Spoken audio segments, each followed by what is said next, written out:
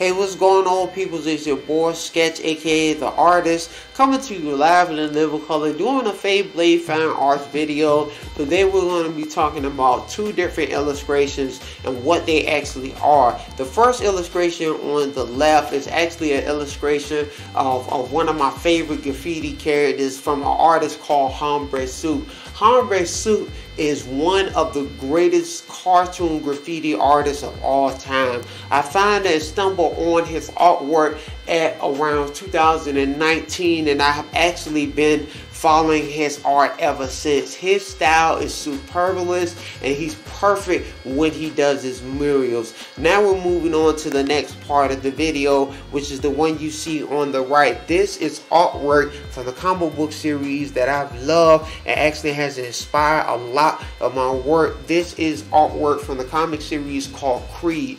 Creed is a phenomenal indie comic that was created in the 90s. And, and when I was younger, I loved this series because it was different.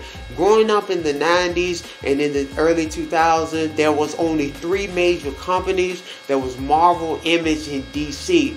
And the thing that I didn't like about that is the characters that everybody had already seen. And so my greatest desire was to actually support indie comics. I wouldn't go for the mainstream, I would go for the unknowns because it was something refreshing, unique, and different. So both of these illustrations were done, drawn, scanned, and colored diligently on paper. So if you guys would like to know more context on these, links to the description is in the feed. I hope you guys are blessed by the content, trying to do some new things and really push the faith Blade to help the teens and youth actually spread the gospel of Jesus Christ through the medium of comments. Thank you guys so much for tuning in. I hope you guys are blessed by the content. I will catch you on the next video and I'm out. It's your boy Sketch the Artist saying back on the grind. Y'all be blessed. Deuces.